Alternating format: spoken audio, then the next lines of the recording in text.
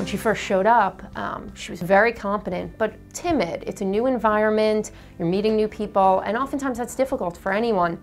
Within a few weeks, uh, she made friends, you could see her confidence grow and it only took a few months for her to go from some of the basic work, the filing, the copying, which she's very good at, to the more substantive work. Over the last six months, she's been doing redacting to have her be able to review documents for substance and make judgment calls. It's an extra set of hands who we trust. What they show me, I pick it up.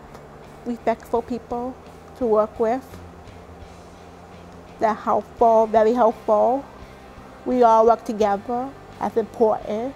As a job coach, the most fun and the most rewarding is when they finally get the job. I helped her settle in, fill out paperwork, all the human resources paperwork, um, get used to the schedule, and then I taught her how to work efficiently. She's able to now work without a job coach. She's able to become more independent. I think she's educated everybody as to what people with disabilities can do. That's been part of my education uh, in understanding that the participants don't need shelter, they need help, they need work.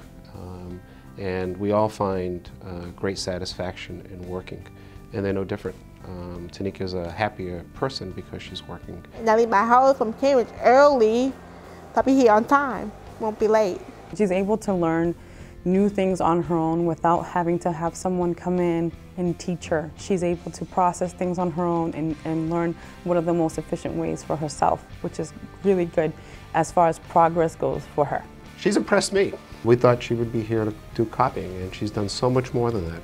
She's a real worker, and she earns every penny that we pay her. It's been a wonderful process to watch her grow from a shy, timid young lady into a confident, competent woman who can take on the world here, and she has. We feel very lucky to have her. And it's nice to have someone who comes in always with a good attitude, always smiling. It makes people want to work harder and better, and if she can do it, pretty much we all can do it. We all can show up at work with a good attitude.